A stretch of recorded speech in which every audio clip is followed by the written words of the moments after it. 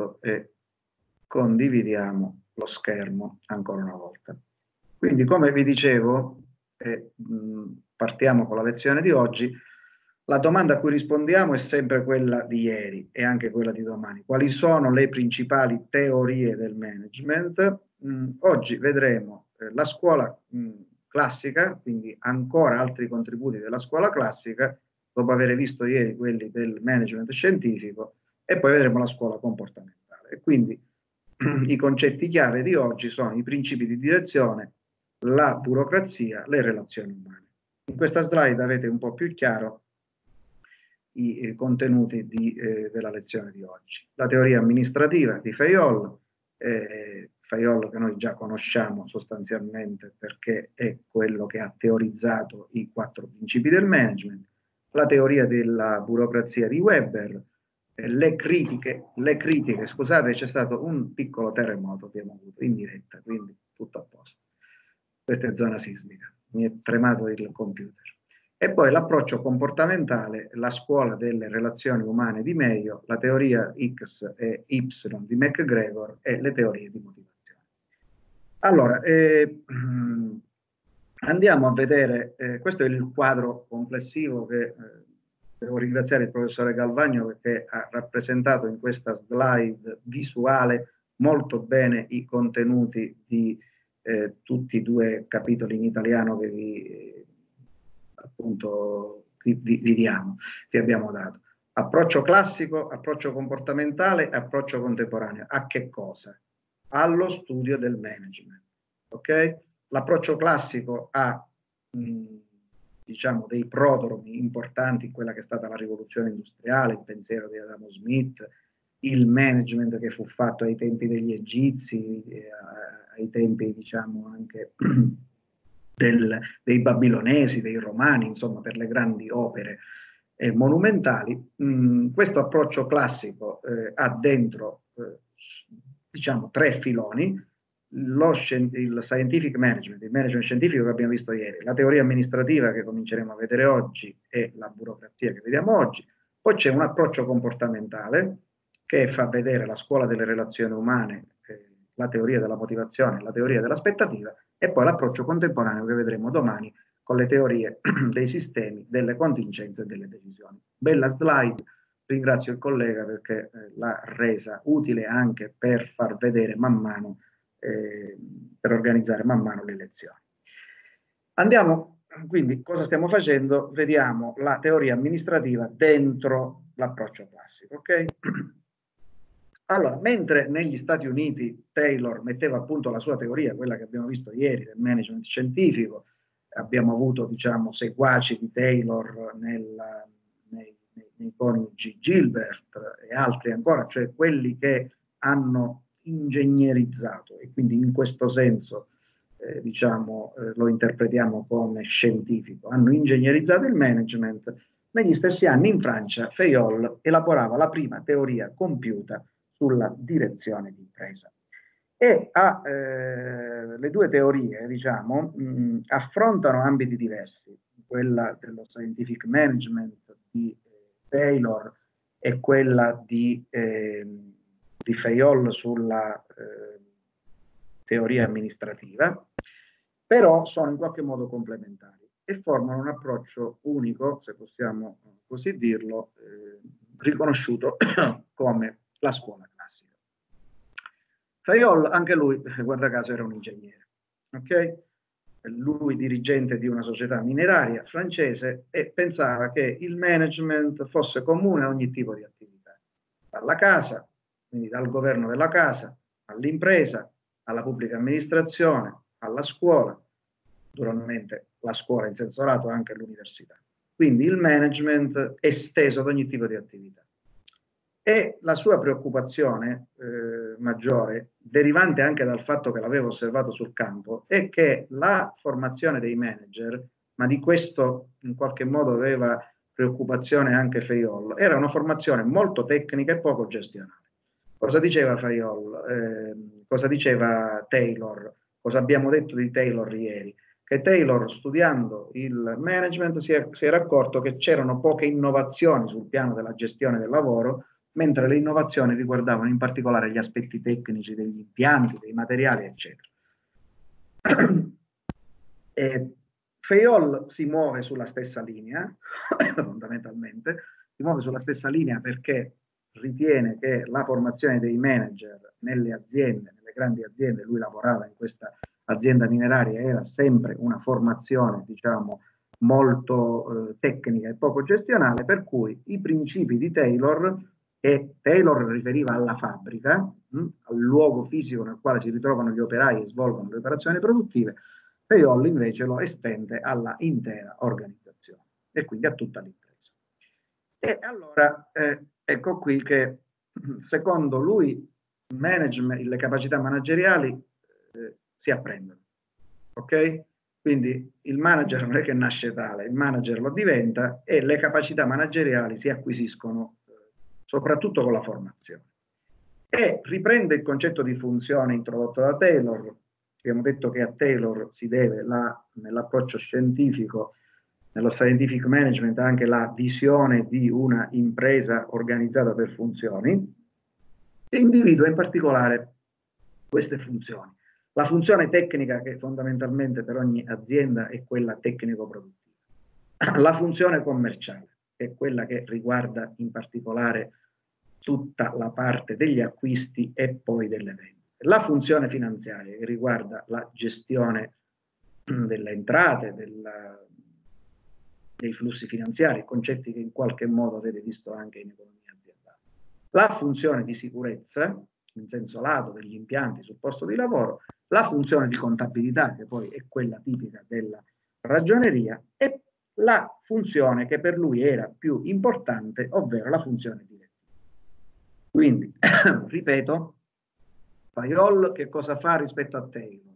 Si muove sulla stessa linea di Taylor, però estende i principi del Taylorismo all'intera impresa. Mentre Taylor era, soff si soffermava in particolare sulla fabbrica, tant'è vero che i suoi studi sull'organizzazione scientifica del lavoro riguardano la fabbrica e tant'è vero che poi Ford le ha applicate alla fabbrica, Craiollo invece li estende a tutta l'organizzazione, a tutta l'impresa. Quindi la fabbrica, più fabbriche nel caso in cui l'azienda abbia più stabilimenti, ma anche gli uffici, ma anche altre attività che si svolgono all'interno dell'azienda. E dice che le aziende si organizzano per funzioni. L'approccio ottimale è quello per funzioni ogni funzione ha compiti specifici, elenca le funzioni che sono quelle che abbiamo visto e eh, alla fine dice c'è una funzione più importante delle altre che si chiama funzione direttiva. A questo punto vediamo in che cosa consiste questa funzione direttiva. Secondo Fayol la funzione direttiva non è prerogativa solo del top manager, cioè del vertice aziendale, ma compete in misura diversa a tutte le posizioni, quindi anche a quelle che abbiamo visto nei primi giorni, abbiamo chiamato di manager di prima linea oppure dei middle manager, dei manager intermedi. La funzione direttiva si articola in cinque sottofunzioni, poi ridotte a quattro. Le cinque sottofunzioni sono la pianificazione, l'organizzazione, il comando, il coordinamento e il controllo, che poi ridotte a quattro sono la pianificazione, l'organizzazione, il comando e il controllo, cioè quelle di cui abbiamo parlato fin dalla prima lezione, hm? nel management as process, ovvero la funzione del planning, la funzione dell'organizing, la funzione del leading e la funzione del controlling. Ok? Quindi quando tutti i libri di management iniziano con queste funzioni e fondamentalmente i programmi di principi di management, di fondamenti di management in giro per il mondo hanno sempre questa impostazione partendo dalle quattro funzioni, si riferiscono al principio di Fayol, si riferiscono agli studi e a, a, alla teorizzazione di Fayol. Ok? Quindi Fayol si muove ancora in una ottica tayloristica, però in un contesto diverso perché siamo in Francia e non siamo in Europa. Si accorge che i manager sono molto tecnici e poco pratici, e poco pratici addirittura l'aveva visto nell'azienda per cui lavorava, nell'azienda mineraria, che a un certo punto un cavallo si era infortunato, non poteva più effettuare quelle operazioni tipiche di trasporto che doveva svolgere dentro le miniere e non si sapeva chi doveva prendere le decisioni. E allora lui disse, ma è mai possibile che in situazioni così importanti, che sono quelle legate poi alla gestione di una miniera, dove sapete che ci sono tanti rischi si infortuna un cavallo e nessuno prende la decisione più saggia che quella di sostituire il cavallo con un altro e che sia più sano e che possa svolgere diciamo, queste funzioni interne di trasporto, allora da lì, come dire, gli viene il pallino di approfondire eh, la funzione, le funzioni del management, in particolare appunto quella che lui chiama la funzione direttiva. Ehm, e per quanto qua ci siano 14 principi, eh, che poi naturalmente li rivedrete più attentamente, io ve li elenco, eh, mi soffermo però su quelli principali. Lui dice i manager devono studiare e questo è, eh, non ci piove, perché sono troppo tecnici e sono poco attenti alla gestione. Le capacità manageriali vanno acquisite e non sul campo in base all'esperienza, ma bisogna studiare. Queste capacità manageriali si riferiscono non soltanto al eh, super manager, al general manager, al vertice, ma possono tranquillamente riguardare anche altre figure manageriali. Il management consta di quelle quattro funzioni che abbiamo detto sempre e che sono sostanzialmente le funzioni tradizionali, pianificazione, organizzazione, leadership e controllo, però una dottrina di management, perché possa essere elaborata e diventare oggetto di studio anche per i manager deve basarsi su questi 14 principi.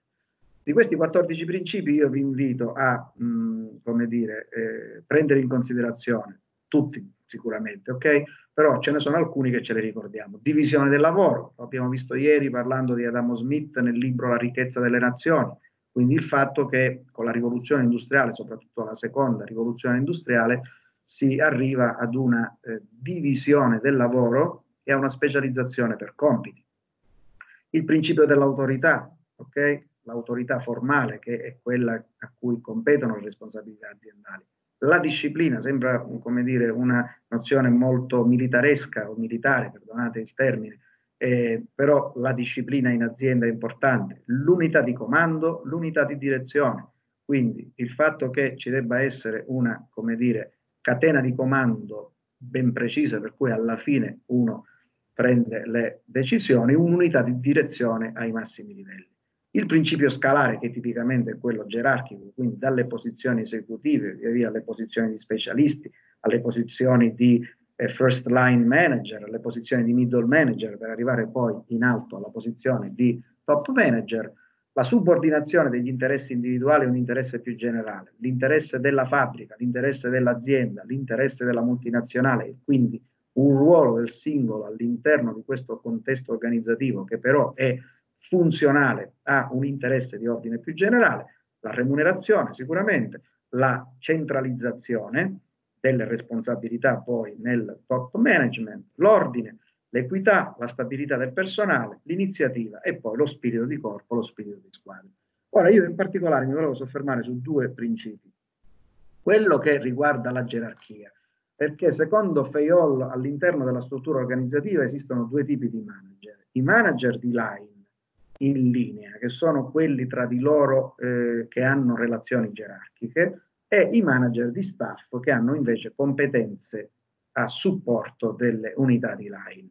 Quindi organi di line, organi di staff, con questa figura che vi faccio vedere dovrebbe essere più chiaro. No? Vedete che l'organo di line eh, sovraordinato è questo e a lui o a lei fanno capo, eh, fa capo l'organo di line sottoposto. Questa è tipicamente una gerar- relazione gerarchica di line. Questo è il top manager e questo sarà probabilmente il manager intermedio. E quindi tra l'uno e l'altro c'è una linea di dipendenza gerarchica. Qui abbiamo invece un organo di staff e quindi se qui troviamo dei manager di staff saranno probabilmente dei manager che rispondono direttamente all'organo di line, non hanno nessuno sotto come subordinato e quindi escono fuori dalla linea gerarchica.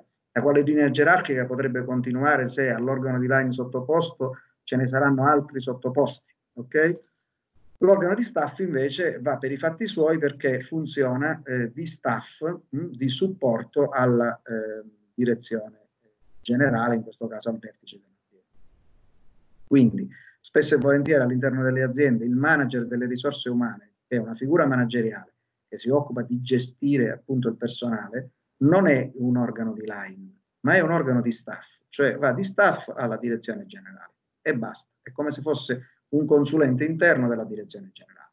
Mentre quando abbiamo tipicamente una organizzazione per funzioni, che so, sotto abbiamo il manager dell'area di produzione, qua abbiamo il manager dell'area dell'amministrazione, più avanti abbiamo il manager dell'area del, del com- commerciale, questi sono subordinati alla direzione generale. A loro volta avranno dei sottoposti e quindi abbiamo nelle aziende una relazione di line e una relazione di staff. Okay? Chi è stato il primo a studiare queste cose è stato proprio Faioli. Anche lui con un approccio, diciamo, molto scientifico, meno ingegneristico di eh, quello di Taylor negli Stati Uniti, ma altrettanto, diciamo, preciso, eh, e comunque lui stesso era un ingegnere, mh, altrettanto preciso di quello di Taylor. Se questo è chiaro, vi risulterà chiaro un altro concetto che viene richiamato da Fayol, quando io valuto le relazioni in linea tra chi sta sopra e chi sta sotto, devo misurare lo span of control, l'ampiezza di controllo, che è data dal numero dei subordinati. Quindi, questo che vediamo in questa slide è un esempio di ampiezza di controllo ristretta, perché a un top manager, come dire, né, eh, ad un top manager sono collegati in line, quindi secondo una relazione gerarchica, tre middle manager. Guardate invece in quest'altra slide, lo span of control è più ampio. Al manager sono collegati quattro, eh, scusate, sette altre figure. E allora questo cosa significa? Che lo span of control è importante anche nell'esercizio di quella che è la funzione di coordinamento, perché una cosa è se io sono un manager e sotto di me mh, hm, ho tre persone che rispondono a me, ma è più facile controllare tre persone, altra cosa è quanto lo span of control è molto ampio perché in questo caso il manager deve andare a controllare ben sette subordinati, che magari a loro volta avranno altri subordinati in linea gerarchica collegati a loro. Quindi il tema dell'ampiezza di controllo è importante nel disegno di quello che è l'organigramma aziendale all'interno delle aziende. Si deve prestare particolare attenzione, secondo Fayol, ma anche quelli che hanno, come dire, sono venuti dopo Fayol, si deve prestare particolare attenzione all'ampiezza di controllo perché, ripeto, una cosa è se io ho tre persone sotto di me, per quanto siano manager, ci siamo e a loro volta loro possono avere altre persone sotto, però in questo caso il compito del director, dove il director sarà il general manager, sarà al massimo quello di coordinare e supervisionare tre manager, dopodiché lui si ferma. Il suo compito è quello certo eh, pianificherà, dirigerà, controllerà quello che abbiamo visto essere le funzioni direttive, però come vedete il controllo si esercita solo su tre figure e quindi è abbastanza presidiabile. Altra cosa è se lo span of control è ampio e quindi in questo caso il manager ha altri, altre figure sotto di sé e quindi ha maggiori responsabilità di coordinamento. No? Quindi immaginate qui che so, il top manager che deve controllare. Il manager 1 che è quello della, dell'area commerciale, il manager 2 è quello dell'area tecnica, il manager 3 è quello dell'area della contabilità. E poi immaginiamo che il manager dell'area commerciale deve coordinare il eh, responsabile di vendita di un prodotto, il responsabile di vendita di un altro prodotto, quello che si occupa del marketing tradizionale, quello che si occupa dei social media marketing, quello che si occupa della comunicazione, delle sponsorizzazioni, diventa, come dire, estremamente complesso. È vero che lui, questo manager, risponde direttamente in linea gerarchica a un, a un, a un, a un superiore, ma è altrettanto vero che, a differenza del suo superiore, che deve controllare al massimo tre persone, lui o lei ne deve controllare sette e quindi ha un'ampiezza di controllo maggiore. Se vi è chiaro questo concetto, vi è chiaro sostanzialmente quello che abbiamo detto qui nella slide line e staff, quindi secondo Fayol all'interno della struttura organizzativa esistono due tipi di manager, di line che hanno tra di loro relazioni gerarchiche e di staff. Quelle di staff sono diciamo equivalenti a consulenti interni. Di quelli di line dobbiamo andare a vedere qual è lo span of control. In questo caso lo span of control è 2, ok? Perché all'organo di line sovraordinato in questa figura ce ne sono due sottoposti. Nella, nella slide successiva invece ce ne sono tre, nella slide ancora successiva ce ne sono sette. Maggiore lo span of control, più complicato poi diventa il lavoro di coordinamento, perché devi controllare che eh, assistant 1, assistant 2, assistant 3 e così via facciano bene il loro lavoro, rispettino gli obiettivi, eh, okay, raggiungano questi obiettivi, eh, a loro volta guidino le persone eh, al loro interno che sono subordinate e così via, diventa estremamente complicato. Però questo approccio è un, un approccio un po' più razionale, no? per questo è scientifico. Abbiamo detto ieri a conclusione della lezione che tutto quello che è lasciato all'improvvisazione, all'esperienza e non è razionalizzato, non è scientifico, secondo Taylor negli Stati Uniti e Fayol nella, in Francia, quindi in Europa. A questo, eh, quindi abbiamo visto l'approccio dello scientific management di Taylor, abbiamo visto la teoria amministrativa di Fayol in Europa, ma queste due teorie sono abbastanza vicine. Andiamo a un altro contributo importante che è la teoria della burocrazia, che si deve a Max Weber. Ora, Max Weber eh, è un sociologo, quindi chi studia a scienze politiche e sociologia conosce benissimo eh, Max Weber. Chi eh, di voi se ne è occupato al liceo eh, o negli studi di storia o di filosofia, probabilmente perché magari è stato suggerito da qualche insegnante, in generale eh, Weber mh, lo si studia poco nelle eh, diciamo, nelle facoltà e negli indirizzi di studio non tipo sociale, ma è importante anche per la nostra materia. Perché? Perché Weber, che ripeto, era un sociologo, quindi non era un ingegnere, non era un manager, non aveva esperienza, diciamo, di azienda come l'avevano Taylor, come l'aveva Gilbert, come l'aveva Gilbert, come lo aveva lo stesso Fayol, Weber è un sociologo, è il padre della sociologia delle organizzazioni e introduce il concetto di agire sociale, cioè dice da sociologo che eh, sapete che la sociologia rispetto alla psicologia studia i comportamenti dei gruppi, mentre la psicologia studia il comportamento delle persone. Allora lui ti dice che è importante il concetto di agire sociale, cioè il comportamento di qualcuno che è riferito o motivato dal comportamento degli altri ed è orientato nel suo corso. Quindi una persona che, eh, dire, svolge un lavoro semplicemente all'interno di una catena non sta svolgendo un agire sociale.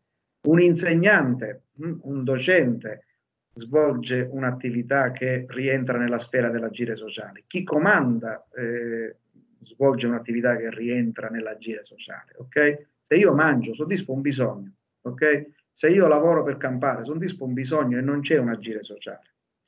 Ma se io eh, insegno, ok? Pensate a me in questo momento, il comportamento di qualcuno, ok? Che è motivato dal comportamento degli altri, è orientato da questi nel suo corso. Quindi voi che in qualche modo siete eh, motivati o comunque in questo caso anche dovete per eh, dovere istituzionale seguire una lezione e quindi la vostra interfaccia è il docente e il vostro agire dipende dal docente, ok? Dalle cose de- che dice, da come le dice, da come deve portare un risultato, eccetera. La stessa cosa per chi esercita una funzione di comando, no? Pensiamo in questi giorni all'agire sociale influenzato dalle parole del Presidente del Consiglio che interviene in televisione, che, le, che illustra i provvedimenti del governo, che esorta gli italiani a stare a casa e così via.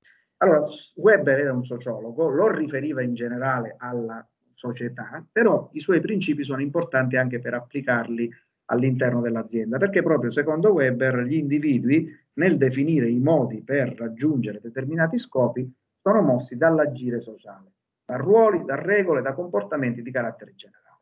Ok? Quindi io vi devo portare allo scopo di eh, studiare per sostenere l'esame, sono mosso dall'agire sociale, che è l'insieme di che cosa? Dei ruoli, di regole, la regola è seguire le lezioni, ok? Da regolamenti di carattere generale. Io non vi sto dando delle indicazioni diverse, ok?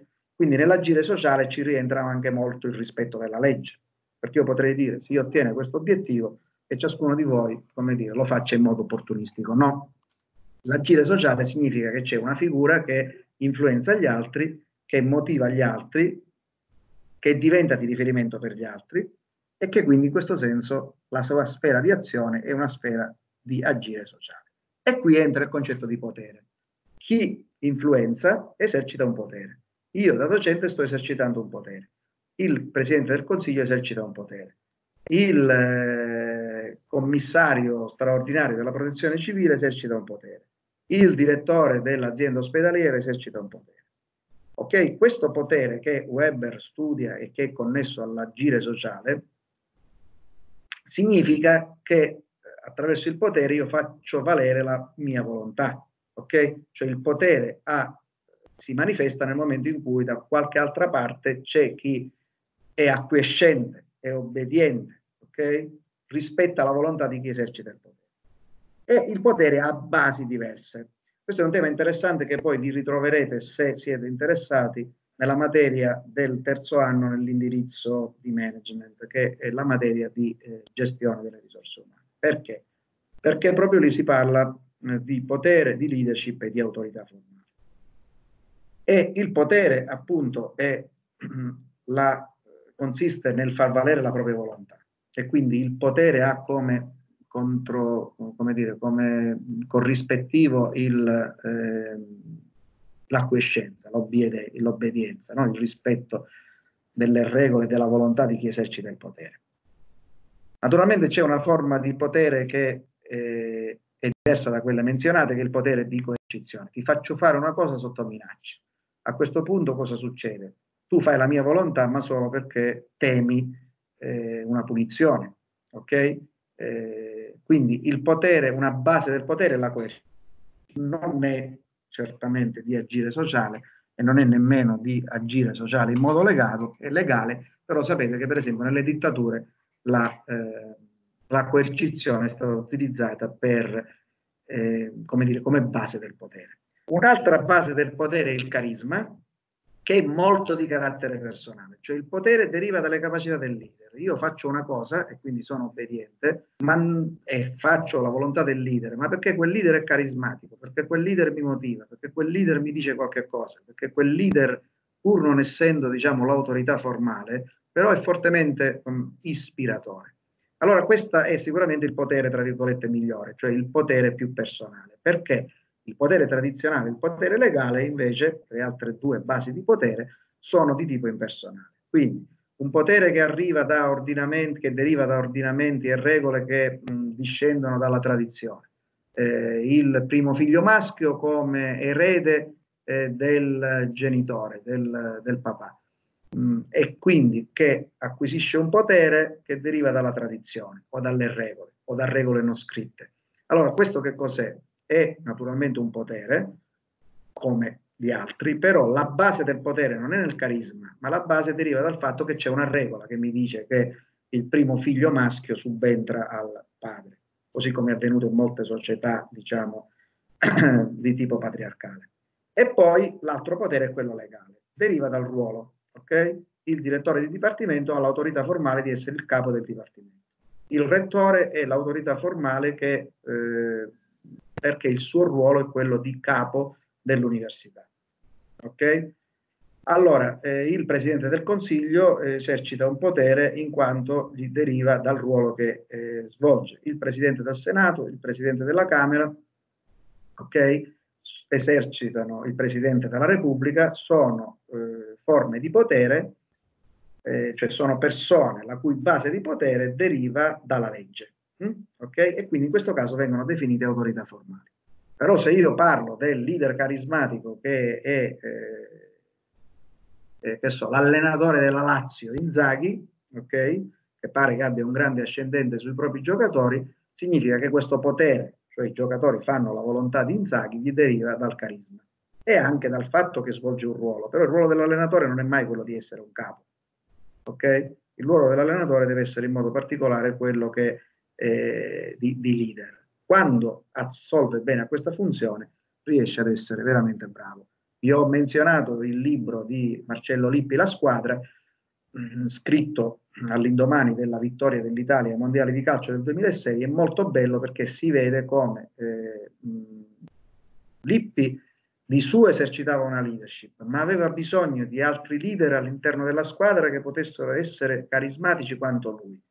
E per esempio nel libro riporta il ruolo di Materazzi, il difensore che diede la testata a Zidane perché aveva un grande ascendente sui giocatori in campo, in campo e Peruzzi, il terzo portiere, che era abbastanza anziano, che lui se lo portò nella, insomma, nella squadra, non giocò mai, ma siccome era una figura molto carismatica e mh, riconosciuta da tutti come un leader, nello spogliatoio aveva un ruolo molto importante. Ok? Quindi capite che spesso la leadership, eh, in quanto base del potere, è qualcosa che si accatena, coinvolge altri soggetti, fa diventare veramente un team di successo, un team eh, in maniera, come dire, eh, fortemente, fortemente competitivo e fortemente di successo. Allora, secondo Weber, che come dicevo, si è concentrato sull'agire sociale, ha detto che ci sono alcuni comportamenti che differiscono dagli altri perché sono ispirati all'agire sociale, ha detto che chi come dire, opera questi comportamenti, chi effettua questi comportamenti, esercita un potere, ha dovuto incastrare tutti questi concetti, l'agire sociale e il potere, dentro un contenitore che è per lui la burocrazia. Quindi le organizzazioni, dice Weber, attenzione, ribadisco, Weber sociologo dell'organizzazione, non aziendalista, le organizzazioni dovrebbero essere strutturate in modo da fornire potere legale, quindi un'autorità formale, e il modo per farlo è la burocrazia.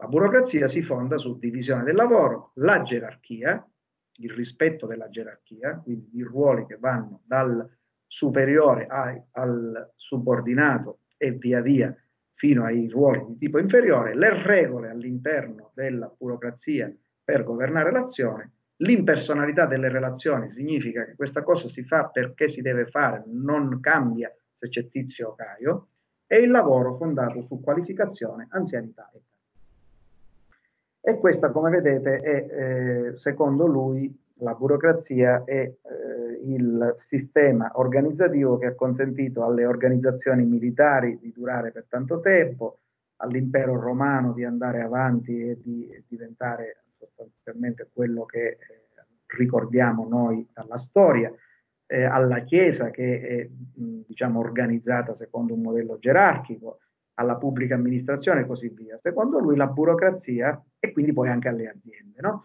secondo lui la burocrazia è dire, il modo migliore perché un'organizzazione possa strutturarsi e dare potere legale, legale non eh, carismatico, non derivante dalla tradizione, ma un potere legale, quindi mh, con ruoli ben precisi che derivano appunto dalla legge, la burocrazia è lo strumento ideale.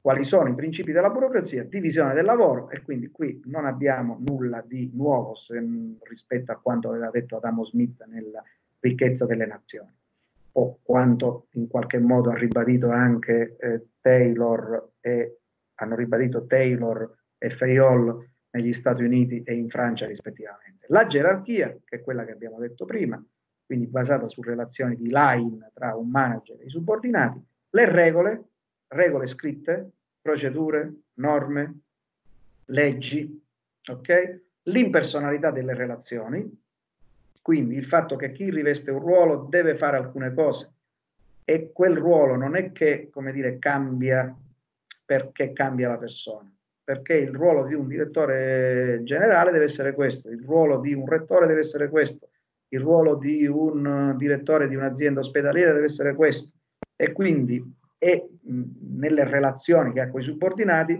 deve fare questo, questo e quest'altro. Non può, come dire, eh, metterci molto di proprio, tra virgolette, perché altrimenti renderebbe personali le relazioni.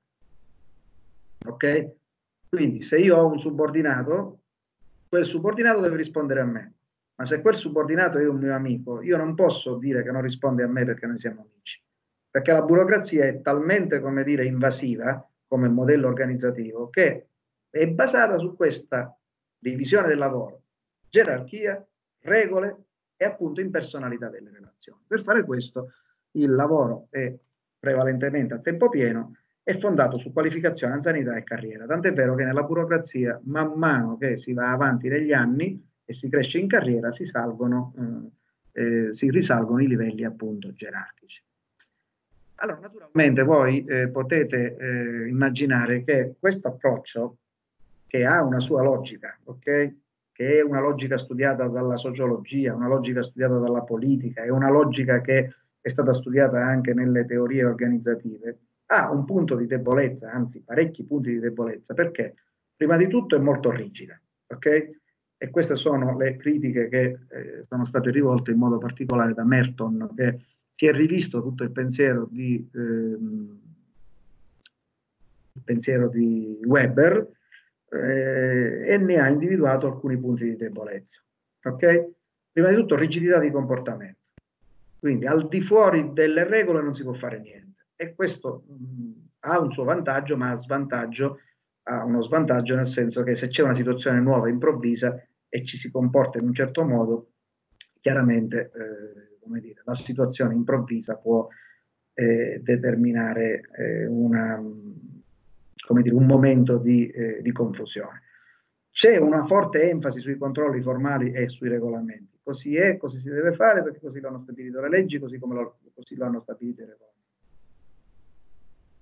Scarsa comunicazione e coordinamento, perché a questo punto la comunicazione si basa prevalentemente sugli ordini, mancanza di programmazione, tendenza al conservatorismo, perché il conservatorismo significa che queste pratiche e queste procedure, diciamo, si stratificano nel tempo. Pensate alle organizzazioni militari o alla Chiesa che ha addirittura, come dire, regole mh, millenarie. E quindi a questo punto la leadership, la creatività e l'individualità sono sacrificate. Ok? Quindi quando voi pensate a un modello burocratico, immaginate il modello burocratico di un apparato militare, ok? Con le figure che vanno dal generale a scendere eh, gli ufficiali poi via via gli altri, l'organizzazione gerarchica della pubblica amministrazione, anche se un po' la pubblica amministrazione ha cambiato, ha dovuto cambiare perché si è dovuto adeguare, l'organizzazione gerarchica della Chiesa, ok? Quindi c'è il Papa, ci sono i cardinali, ci sono i vescovi, poi ci sono i sacerdoti. Il sacerdote che nella diocesi risponde al vescovo deve obbedire, ok? Gerarchicamente parlando. E quindi se il vescovo lo sposta da una parrocchia ad un'altra, deve obbedire, nel senso che la parrocchia non è sua, la parrocchia è una posizione che sta occupando nella qualità di sacerdote incaricato. Se il vescovo lo manda da qualche altra parte, deve obbedire. Questo quali limiti ha?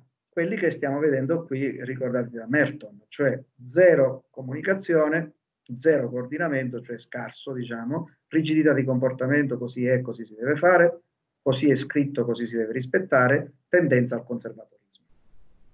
Ok? Mentre un'organizzazione che ha un modello diverso rispetto a quello della burocrazia, eh, chiaramente tende ad esaltare leadership, creatività, individualità, quelle cose che Merton diceva che invece col pensiero di Weber, con l'impostazione di Weber sono sacrificate. Quindi se questo vi è chiaro, mh, cosa dobbiamo dire? Che eh, non è che Weber eh, abbia detto cose eh, sbagliate, Weber ha detto io osservo alcune eh, organizzazioni alcune organizzazioni, se resistono nel tempo, come quella militare, come quella ecclesiastica, come quella amministrativa della pubblica amministrazione, e sono strutturate secondo questo modo, significa che è l'unico modo possibile, organizzativamente parlando, per far funzionare l'organizzazione stessa. E quindi è l'unico modo per strutturarla. E questo modo si chiama burocrazia. Ha una serie di vantaggi, quelli che abbiamo visto in Weber, ha una serie di svantaggi che sono quelli che Merton, criticando Weber, ha evidenziato. A questo punto, per essere chiari e per capire la differenza eh, tra eh, quello che dice Weber e le critiche che sono state rivolte da Merton, quella di eh, Weber, è, cioè la burocrazia, è ispirata alla lotta all'ottica dell'adempimento. Le critiche che fa Merton e soprattutto quelle che verranno dopo la scuola comportamentale è invece mh, la, critica dicendo, eh, la critica è basata sul fatto che l'ottica dell'adempimento molte volte non conduce a nessun risultato. Pensate a uno che, mh, come dire, ecco, poc'anzi c'è stata questa piccola scossa di terremoto, piccolina, un tremore, io vivo in una zona che è stata colpita dal terremoto, e cosa è successo? Che molti hanno avuto col, col terremoto del 2018, del 26, del 26, dicembre del 2018, le case eh, distrutte, mh, alcuni fortemente danneggiate. Bene, per arrivare al risultato di avere i soldi e, rimborsati e assegnati dallo Stato e eh, per avviare le ricostruzioni, c'è tutta una trafila di adempimenti burocratici da fare, perché sono dovuti per legge. Allora, che cosa succede? Che quando tu enfatizzi troppo l'ottica dell'adempimento, non arriva a nessun risultato. Quindi è possibile, come tuttora lo è, che ci siano tante persone che hanno seguito tutta la trafila burocratica, ma ancora non hanno visto né un quattrino per ristrutturare la casa, un quattrino diciamo che gli è dovuto dallo Stato, né hanno ristrutturato la casa. Ok? Quindi in questo caso, come vedete, l'ottica dell'adempimento e l'ottica del risultato fanno a pugni. Ora, Weber non è che fosse, mh, diciamo, negasse l'importanza dell'ottica del risultato, ma secondo lui l'ottica del risultato, cioè raggiungere il fine, era possibile attraverso una struttura gerarchica che si basasse sulla logica dell'adempimento. Invece i critici di Weber, a partire da, Mar- da Merton, dicono no, guarda che troppa enfasi sull'adempimento blocca il risultato. Ok? Vediamo come in situazioni di emergenza come quella attuale l'ottica del risultato è più importante e alcuni passaggi di tipo burocratico sono saltati. Se notate, o se avete notato, nel decreto che ieri ha emanato il governo ci sta scritto che i medici possono, una volta conseguita la laurea, cioè il laureato in medicina, già immediatamente essere abilitati alla professione e quindi andare in campo ad aiutare gli altri medici e l'altro personale sanitario. Mentre, ah, e questa è stata stabilita per legge, diciamo, eh, per decreto, eh, derogando a quella che è il principio generale, sempre diciamo, stabilito dalla legge, che per, a, per esercitare devi essere abilitato, devi fare gli esami. E questo perché? Perché siamo in una situazione di emergenza, in questo momento i medici e gli infermieri, come se fossero in tempo di guerra i soldati sul fronte, ne servono tanti, per cui lo Stato ha deciso, il governo ha deciso di saltare, no? Se volete, o di modificare l'ottica tradizionale dell'adempimento andando subito all'ottica del risultato. Ci servono medici, ci serve personale paramedico, quelli che già sono in possesso del titolo di studio possono essere assunti e possono andare in campo ad operare. Allora, andiamo a vedere a questo punto l'approccio comportamentale. Quindi l'approccio classico che abbiamo visto fino adesso riguarda il management scientifico di cui abbiamo parlato ieri, la teoria amministrativa di Fayol di cui abbiamo parlato all'inizio della lezione è la teoria della burocrazia di cui abbiamo appena appena parlato. Andiamo all'approccio comportamentale. Già lo stesso aggettivo vi dovrebbe mettere in guardia, cioè è un approccio che rispetto a quello classico, molto basato diciamo sul, sui contenitori, guarda invece molto al contenuto e il contenuto sono i comportamenti delle persone. Ok? Quindi molte di queste teorie del management che si ispirano all'approccio comportamentale sono teorie che poi verranno richiamate anche in altre materie aziendali e in particolare nella materia che vi dicevo si chiama gestione delle risorse umane che si insegna al terzo anno nell'indirizzo di management, ok? Nell'indirizzo eh, alternativo a quello di amministrazione e controllo. Allora, vediamo l'approccio comportamentale, quali diciamo scuole di pensiero ha al suo interno, la scuola delle relazioni umane, la scuola delle teorie della motivazione, la scuola delle teorie dell'aspetto. Qui andiamo a toccare argomenti che sono un po' più vicini, se vogliamo, a quello che è il vostro vissuto, perché magari i principi di scientific management ci sembrano molto distanti, eh, abbiamo visto che il taylorismo, diciamo, è valido solo nelle fabbriche tradizionali, esempi di terrorismo così rigido oggi ce ne sono pochi, però è anche vero che anche con i video che abbiamo postato su Facebook abbiamo fatto vedere che c'è eh, anche un taylorismo, diciamo, applicato in aziende come Amazon, come Walmart e così via. La scuola delle relazioni umane è la prima che entra nell'approccio comportamentale e questa, uh, diciamo, questa scuola nasce da una critica ai modelli tradizionali. Cioè, i modelli tradizionali, Taylor, eh, Fayol, Weber, in particolare Taylor e Fayol, eh, erano basati sull'idea del one best way, cioè esiste un unico modo, no? one best way significa il modo migliore e unico. cioè il Taylorismo, l'approccio scientifico, la fabbrica, la catena di montaggio, ispirati appunto a una logica di, razional di razionalità economica assoluta come criterio base della gestione. Quindi non sono ammesse altre alternative. Esiste un one best way, questo one best way per, Taylor, eh, per Taylor è la fabbrica, per Fayol sta nel management e nell'esercizio di quelle quattro funzioni, per entrambi sta in fondo nella catena di montaggio, per Weber nella burocrazia.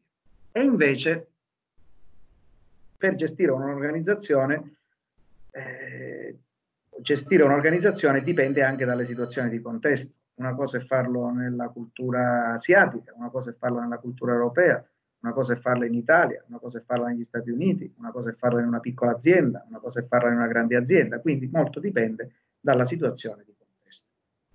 Allora, l'organizzazione a questo punto non viene più considerata come un sistema gestibile automaticamente, secondo delle regole generali, ma a questo punto ci sono diciamo anche delle regole particolari. E quindi se le regole sono particolari significa che si dà maggiore peso, maggiore importanza a quello che è il eh, ruolo e il comportamento delle persone. Quindi, differentemente, da, eh, differentemente da Taylor e da Fayol, non si possono fissare standard di tempi e metodi uguali per tutti. Vi ricordate ieri il, eh, il, ehm, l'approccio scientifico no? basato sui tempi.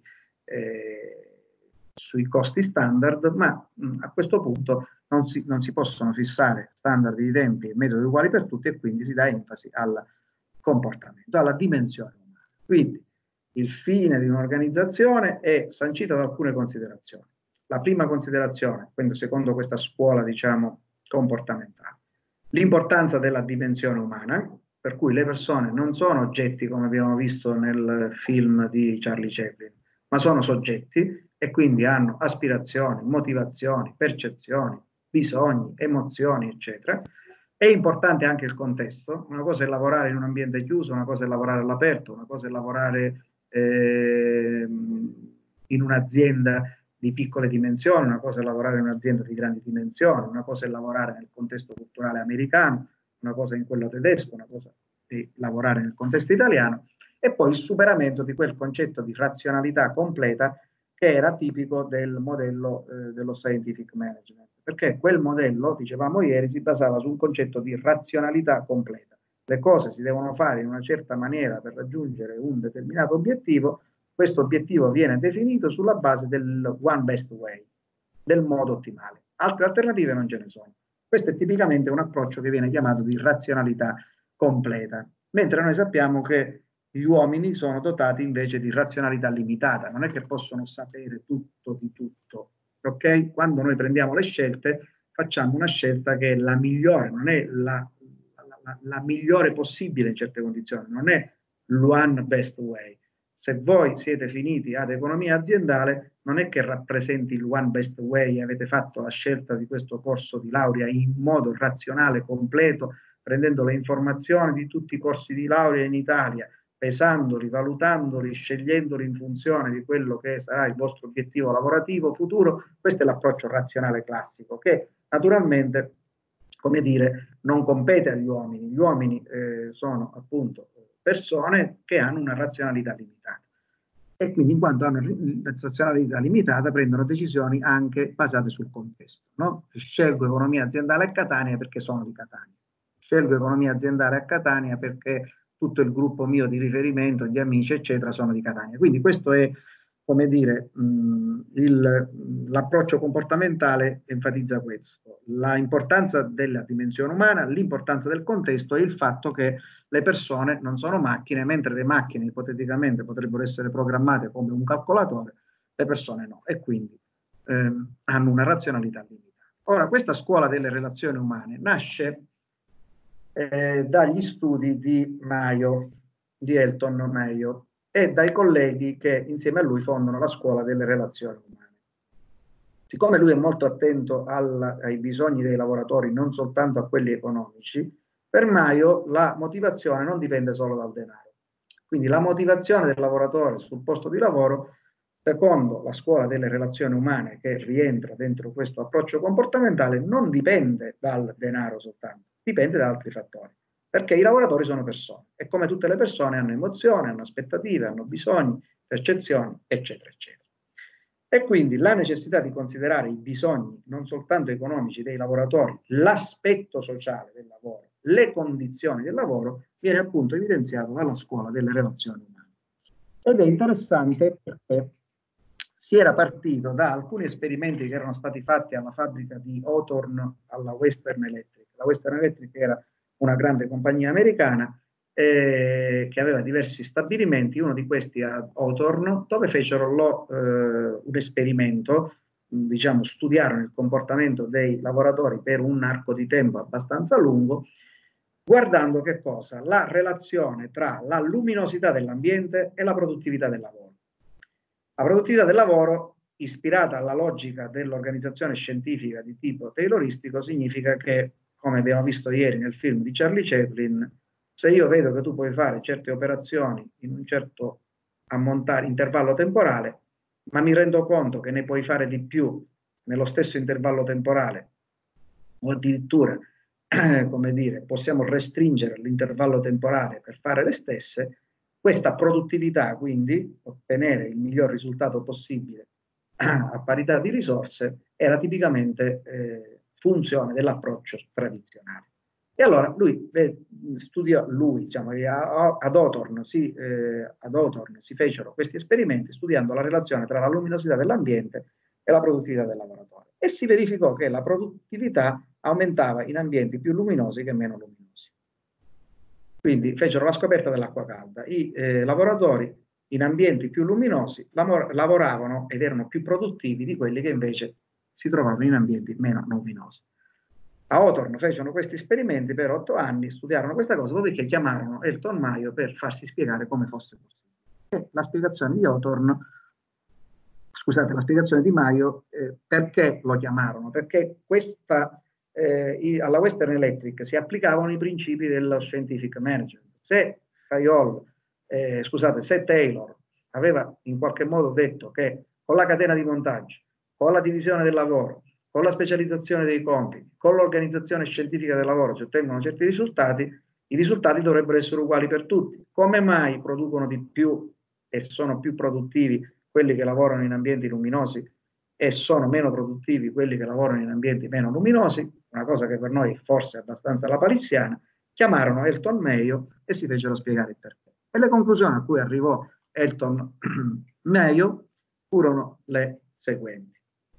E infatti viene chiamato questo negli studi la, l'effetto Hawthorne. L'attenzione da parte dei capi e il coinvolgimento delle persone, eh, il coinvolgimento in programmi specifici aumenta la produttività.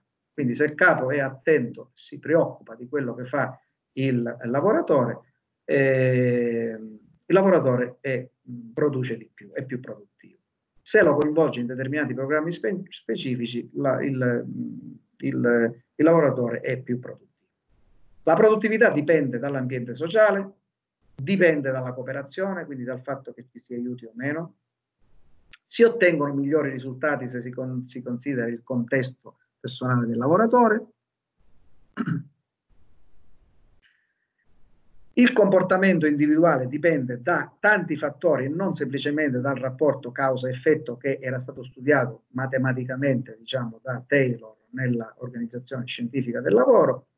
Gruppi di lavoro informali sviluppano proprie norme proprie regole e quindi in qualche modo diciamo, sono mediatori tra le esigenze individuali e di gruppo gli incentivi economici non sono i soli che influenzano la produttività. Cioè, detto in parole semplici, Maio viene chiamato alla, ehm, alla, alla Western Electric per capire come mai in otto anni di esperimenti si erano resi conto che il, i principi dell'organizzazione scientifica del lavoro di Taylor facevano acqua perché quelli che lavoravano in ambienti più luminosi erano più produttivi, quelli che lavoravano in ambienti meno luminosi erano meno produttivi. Meglio, eh, Maio eh, naturalmente, come dire, allarga lo studio e arriva alle conclusioni. Guardate che l'effetto luce è un effetto importante perché stiamo parlando di condizioni fisiche sul posto del lavoro.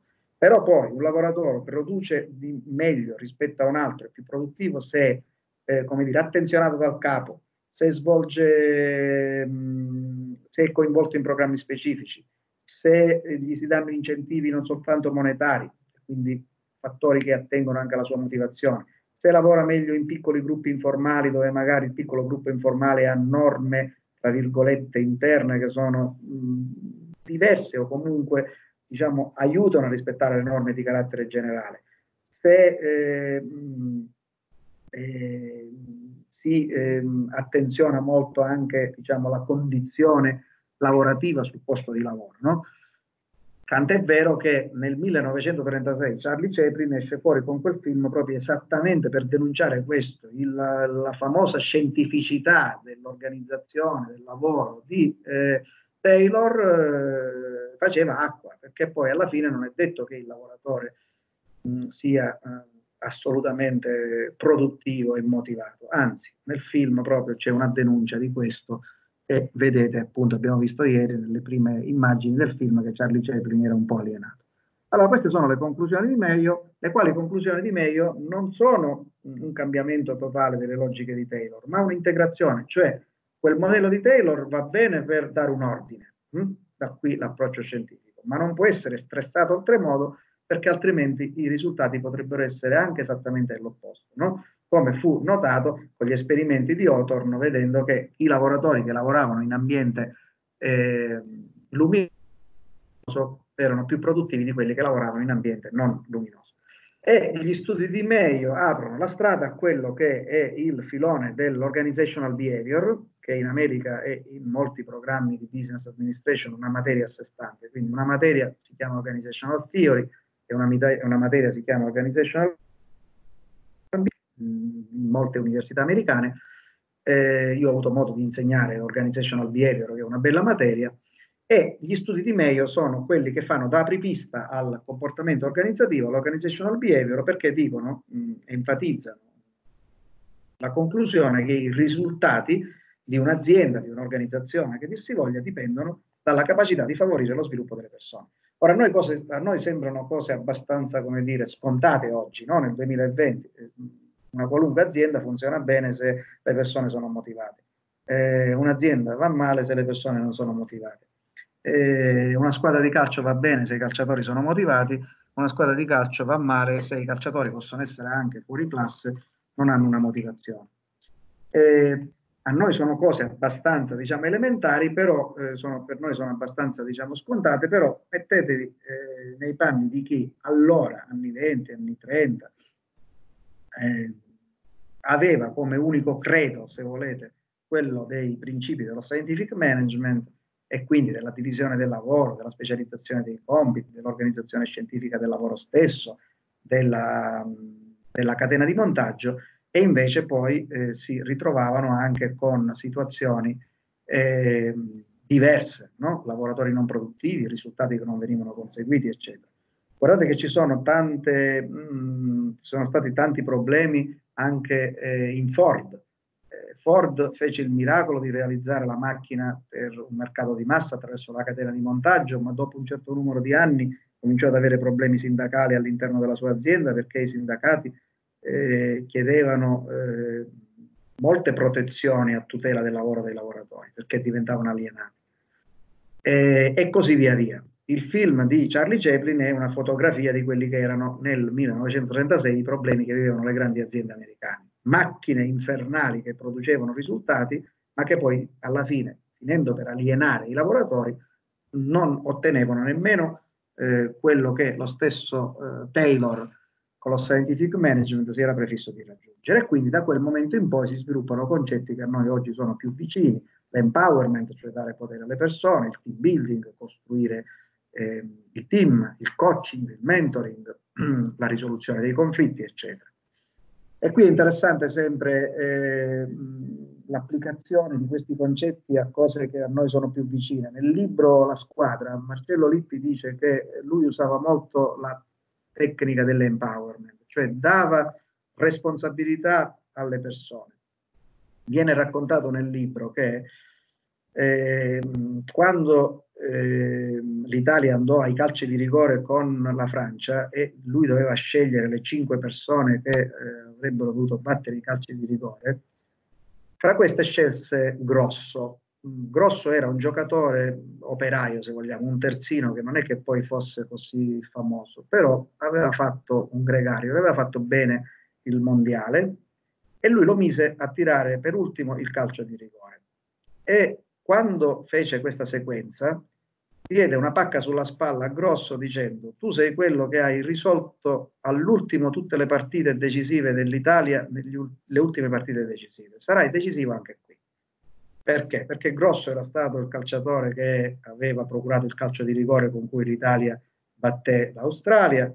Grosso fece il gol alla Germania, eh, a cui poi fece seguito il gol di Del Piero eh, voi allora eravate piccolini perché stiamo parlando del 2006 e poi eh, Grosso fu eh, quello che tirò l'ultimo calcio di rigore decisivo con cui l'Italia vinse. Ora stiamo parlando di un giocatore il quale certamente non era un fuori classe come può essere Ronaldo, però in quel momento fu responsabilizzato, energizzato, gli fu dato power, no? l'empowerment è questo, per cui l'Italia poi alla fine con una squadra tecnicamente diciamo più modesta rispetto alla Francia, rispetto alla stessa Germania, vinse il e naturalmente in quel libro lui spiega anche come ha creato il team building, il coaching, il mentoring, come ha risolto i conflitti potenziali all'interno della, dell'organizzazione, come in qualche modo, come dire, conflitti che si hanno normalmente in una squadra di calcio, in una nazionale di calcio, lui è riuscito a sedarli, eccetera. Ora, per noi sono, ripeto, concetti abbastanza scontati oggi, cioè dare importanza alle persone. Ma ripeto, portiamo indietro l'orologio ad un secolo fa, eh, a poco meno di un secolo fa, quando l'unico Vangelo, tra virgolette, per le aziende era quello di, di, di Taylor e nonostante tutto lo scientific management non sempre produceva risultati buoni. Allora, Meio e la scuola delle relazioni umane introducono questo elemento importante della, della, delle, del comportamento delle persone non smentendo completamente eh, Taylor, non c'è dubbio, però integrandolo, integrandolo con questa attenzione alla componente umana. A questo punto andiamo a vedere, dopo la scuola delle relazioni umane, un'altra scuola che è la teoria delle motivazioni. Chiedo un attimino a qualcuno, dato che sto parlando ininterrottamente da un'ora, se stiamo andando bene, si stanno vedendo le slide, è tutto, tutto chiaro? Bene, tutto bene, tutto chiaro. Nessun problema. Perfetto, oggi è una giornata straordinaria. Io però sono morto perché è un'ora di seguito che parlo, però poi ci fermiamo e facciamo qualche commento. Tra eh, le teorie della motivazione, quella più famosa è di Maslow. Maslow era uno psicologo che ha eh, realizzato, eh, ha disegnato, strutturato questa piramide dei bisogni, che è molto nota, si studia tantissimo, la ritroverete in, tanti, in tante materie, anche nel marketing e così. Secondo eh, Maslow eh, è la motivazione quella che spinge le persone ai risultati. Okay? Quindi se guardiamo la dimensione umana è importante tutto quello che ha detto il terrorismo, ma quello che fa la differenza è la motivazione. Questa motivazione dipende dai bisogni e da come i, le persone via via scalano okay, questa piramide dei bisogni. E quindi, secondo lui, esiste una piramide che parte dai bisogni fisiologici per ciascuna persona. Mm? Respirare, alimentarsi, i bisogni sessuali, il sonno, l'omeostasi, quindi il raggiungimento di un equilibrio. Poi i bisogni di sicurezza, di sicurezza fisica, di occupazione, sicurezza familiare, di proprietà. Poi via via ci sono i bisogni, e questi sono i bisogni primari. Poi ci sono i bisogni di appartenenza, l'amicizia, l'affetto familiare e anche la parte dell'intimità, diciamo, che attiene al rapporto, diciamo, con la persona. Quindi mentre il sesso, diciamo, più istintivo come bisogno primario, quando parliamo dell'intimità sessuale stiamo facendo riferimento invece a un bisogno sociale, perché comunque mi interfaccia con un'altra persona. E poi via via i bisogni di stima, eh, per esempio l'autostima, la stima di se stessi, l'autocontrollo, la, la realizzazione, il rispetto reciproco, per poi arrivare al vertice della piramide è il bisogno di autorealizzazione, no? di moralità, di creatività, di spontaneità, eccetera. eccetera. Allora, come si interpreta questa, eh, questa piramide? Si interpreta dicendo che le persone sono motivate a salire questa piramide man mano che soddisfano i bisogni di livello inferiore. Eh, mi procuro da mangiare perché mi soddisfa il bisogno fisiologico. Mi procuro un lavoro perché mi soddisfa il bisogno di sicurezza. Ok? Con un lavoro anche minimo posso, come dire, eh, sbarcare il lunario, si dice, e quindi avere una casa, eh, farmi una famiglia, eccetera. E poi via via, no? Man mano che io cresco, cerco di scalare questa eh, scala della questa piramide dei bisogni fino, a, fino ad arrivare poi a scegliere cose che mi motivano solo quando mi consentono di autorealizzare. Allora, una piramide molto interessante con qualche limite perché non è detto che le persone oggi cercano un lavoro perché semplicemente hanno bisogno di soddisfare i bisogni di sicurezza e i bisogni fisiologici. Probabilmente molti giovani cercano subito lavori che li possano autorealizzare e eh, come dire, farli crescere anche nella stima. Però in questo momento in particolare, eh, in questi giorni di crisi, guardate che la piramide di Maslow torna molto utile, perché in questo momento noi ci sentiamo eh, obbligati e motivati anche a rispettare le cose che ci dice il governo, perché abbiamo bisogno di eh, soddisfare fisiologico e di sicurezza, soprattutto dove nel bisogno di sicurezza c'è la salute. Allora, per alleggerire un po' come dire, i contenuti di questa lezione, vi faccio vedere quella che io ho trovato, la piramide di Maslow 2.0 come bisogni digitali della vostra generazione, dove il bisogno fisiologico è, vediamo se mi aiutate, eh, avere sempre la batteria, avere un computer, avere il telefono, avere la linea e avere il wifi. Questi sono considerati fisiologici. Poi i bisogni di sicurezza, Google, la posta e i programmi aperti, ok? compreso le wifi aperte. Poi andiamo ai bisogni eh, che appunto nella piramide di Maslow vengono chiamati di appartenenza, che io soddisfo attraverso Skype, attraverso Facebook, attraverso WhatsApp. E poi abbiamo i bisogni di stima attraverso naturalmente Snapchat eh, piuttosto che mh, mm, Twitter e Instagram e poi i bisogni di eh, self-actualization, quindi di autorealizzazione e ce l'ho usando YouTube, usando LinkedIn, usando Pinterest. Oggi ci potremmo mettere anche TikTok. Eh, mi sembra anche abbastanza divertente, l'ho trovata in rete, l'ho condivisa nella mia pagina Faraci Didattica, ha avuto un mare di eh, condivisioni perché la piramide di Maslow i ragazzi cominciano a studiarla sin dal primo anno di economia aziendale e ci convivono fino alla fine con marketing, però ritrovarsela in questa maniera è abbastanza allora, abbiamo detto Mintzberg, eh, scusate, abbiamo detto mh, mm, la piramide di Maslow. Mh, mm, un altro studioso che mh, mm, si occupa di guardare la motivazione è Herzberg. Per Herzberg l'ipotesi di fondo era quella di non considerare soddisfazione e insoddisfazione di una persona come due estremi di un'unica dimensione, ma come due dimensioni separate e differenti. Cioè come se ognuno di noi avesse un certo grado di soddisfazione e un certo grado di insoddisfazione nelle cose che fa. Poi in questo momento, nel seguire la lezione, non posso dire se siete soddisfatti o se siete insoddisfatti. Sarete soddisfatti al so, 50% e insoddisfatti al 20%. Allora, questa viene chiamata teoria dei fattori duali e lui definì queste due dimensioni, diciamo, separate come i fattori igienici e i fattori motivanti.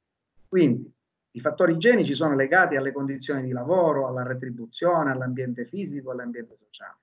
La, I fattori motivanti invece sono legati al contenuto, al, lavoro, crescita, al contenuto del lavoro e alla crescita personale. Quindi con i fattori duali Herzberg ti dice il lavoratore è soddisfatto perché?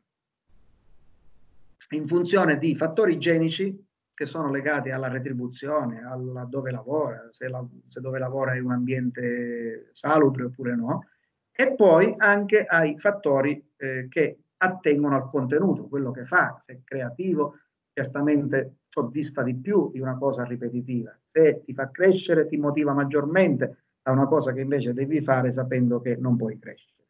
E infatti le, l'applicazione di questi fattori duali all'interno dell'azienda guardando nell'ottica del manager che deve coinvolgere i suoi collaboratori, è la seguente. Il manager potrà evitare l'insoddisfazione dei collaboratori agendo sui fattori igienici, ma questo non genera motivazione. Cioè se io ti do i soldi, ah, i soldi me li devi dare. Se io devo lavorare in condizioni di sicurezza, eh, se non mi fai lavorare in condizioni di sicurezza, io sono insoddisfatto. No? Pensate oggi quanti non possono nei, negli ospedali o addirittura quelli del 118 che non hanno nemmeno le mascherine di protezione. A questo punto di che parliamo? Io sono insoddisfatto perché il minimo non è garantito, ma il minimo che cos'è? Le condizioni fisiche. Ok? Mentre se noi andiamo a guardare quello che realmente fa stare bene il, eh, consum- il, ehm, il, lavoratore, non è il fatto che abbia la mascherina o che sia pagato, perché quelle, tra virgolette, come se fossero condizioni di default, che purtroppo spesso non sono di default, per cui quando non ci sono il lavoratore è insoddisfatto, ma diventa, come dire, motivante qualche, qualcos'altro, cioè la caratteristica del lavoro che viene svolto, se è creativo, la crescita professionale, se c'è la possibilità di successo, se c'è responsabilità, no? se io ti metto al call center e ti faccio fare sempre una serie di cose, io non mi motivo. Poi magari non sarò insoddisfatto perché posso lavorare e sono pagato, sono in un ambiente pulito, le cuffie con cui parlo sono a norma di legge, eh, ogni 8 ore di lavoro a call center mi viene consentito, quindi di lavoro diciamo al telefono mi viene consentito un quarto d'ora di riposo. Queste sono condizioni che incidono sulla insoddisfazione, ok? Nel senso che se non ci sono mi rendono poco soddisfatto. Però pensate un operatore di call center, se fa sempre le stesse cose, questo tipo di lavoro non lo motiva. Se non vede opportunità di crescita, questo lavoro non lo motiva. Quindi guarda solo al primo livello e si ferma solo all'insoddisfazione. La riduce al minimo nella misura in cui i fattori igienici sono rispettati. Mentre, come dire, la sua motivazione cresce se appunto fattori, la sua soddisfazione cresce se i suoi fattori motivanti sono, se i fattori motivanti ci sono, sono presenti e lo incentivano. Quindi, qual è la differenza rispetto a Maslow? Maslow ti dice che la motivazione dipende dai bisogni. Man mano che tu hai un bisogno lo soddisfi e sali questa scala gerarchica. Herzberg ti dice no, guarda che la cosa è diversa le persone devono essere valutate in termini di insoddisfazione e di soddisfazione contemporaneamente. Ciò che è determinante sulla insoddisfazione è il mancato rispetto di quelle che sono le condizioni igieniche, tra virgolette, dove per l'igiene ci, ci mettiamo anche la retribuzione, quindi le condizioni di default. Quello che invece porta soddisfazione sono i fattori motivanti, che attengono proprio alle ambizioni delle persone, al senso di responsabilità, alla voglia di crescere, eccetera. Sulla motivazione c'è pure anche una teoria, che è quella di McClelland, che ti dice che la motivazione dipende da tre fattori, il bisogno di affiliazione, il bisogno di achievement e il bisogno di potere. Più tardi io vi posterò il test di McClelland e voi dovete farlo e darmi poi i risultati. E domani questi risultati li commenteremo, cioè i punteggi che vengono fuori da questo test che è molto interessante perché è un'altra teoria, oltre a quella di Maslow, oltre a quella di Herzberg, che, come dire, guarda alla motivazione. Sono chiamate queste le teorie contenutistiche della motivazione. Chiaramente poi teorie della motivazione ce ne possono essere tante altre, no?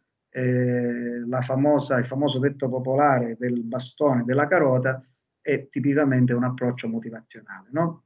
Bastone nella misura in cui, come dire, ti obbligo ti esorto a rispettare delle regole e carota come premialità.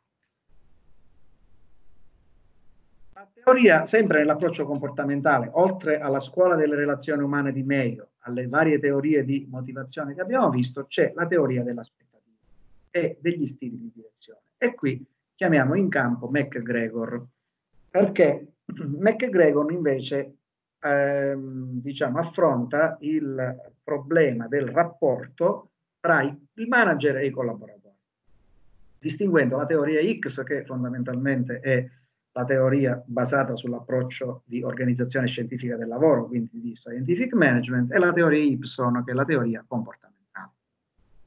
Vediamole. Okay? La teoria, per la teoria X i lavoratori tendono a fare il meno possibile, secondo l'approccio di, di, di Taylor, dell'approccio scientifico del lavoro perché devono essere comandati, costretti a lavorare, non hanno ambizioni, sono motivati solo dalla sicurezza, cioè fammi fare quello che devo fare purché sia fatto in condizioni di sicurezza. Quindi se il manager applica la teoria X, deve controllare i lavoratori, dargli compiti piccoli e ripetitivi, senza responsabilità e dando incentivi economici. Perché sono lavori molto usuranti. Ok?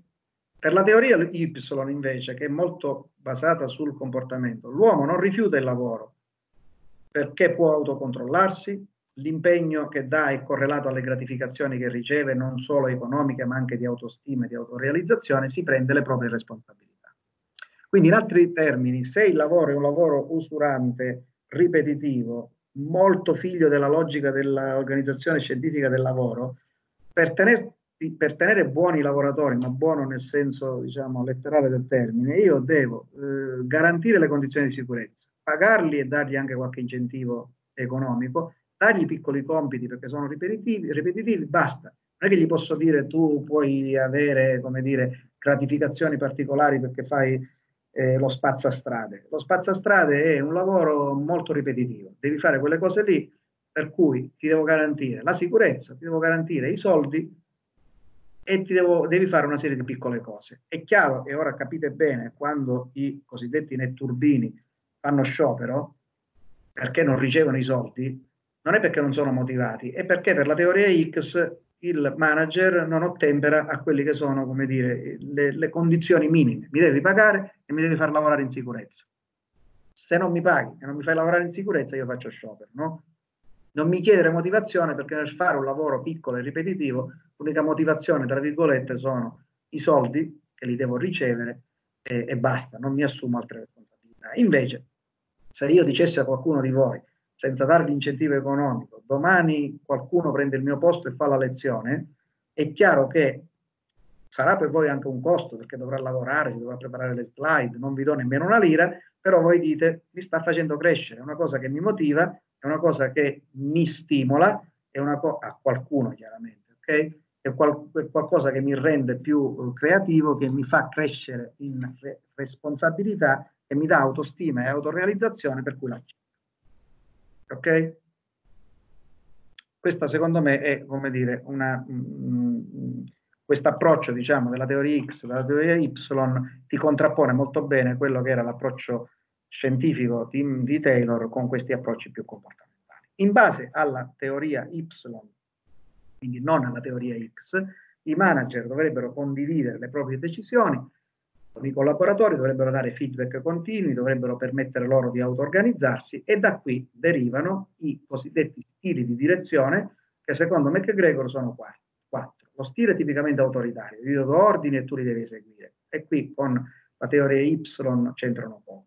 Lo stile paternalistico, che è quella del padre che fa crescere. Ti devo dare un consiglio ma ti devo anche richiamare. Accetta il rimprovero ma accetta anche il consiglio anzi chiedimi consigli perché questo ti fanno crescere, però non te la prendere quando ti rimprovero perché questo è tipicamente diciamo lo stile paternalistico. Lo stile consultativo invece è lo stile nel quale il manager si consulta prima di prendere le decisioni e lo stile partecipativo invece è quello in cui si partecipa tutti insieme a prendere le decisioni. Ok? Se io dovessi dire voglio sentire voi per stabilire la data di fine corso, io lo sento e mi consulto, poi deciderò io la data di fine corso. Se invece io dico decidiamo tutti insieme la data di fine corso, che con 200 studenti diventa un casino, quindi avremo bisogno sicuramente di un programma che matcha tutte le nostre preferenze, lo stile diventa partecipativo. Ok? Se lo stile è autoritario, io vi fisso una data, quella è, quella dovete, eh, diciamo, rispettare. Se, stile, se fossi un manager, se lo stile è paternalistico, eh, eh in qualche modo vi accompagno con l'atteggiamento tipico del pater familias, che è quello di dare consigli, ma anche di effettuare dei richiami, dei rimproveri. E questo è, que quello che noi oggi abbiamo visto in questa lezione sulle teorie di management che completano quelle dell'approccio classico e l'approccio comportamentale. A questo punto io interrompo la condivisione e interrompo anche la registrazione, perfetto che a questo punto oggi dovrebbe essere andata a buon fine, salvo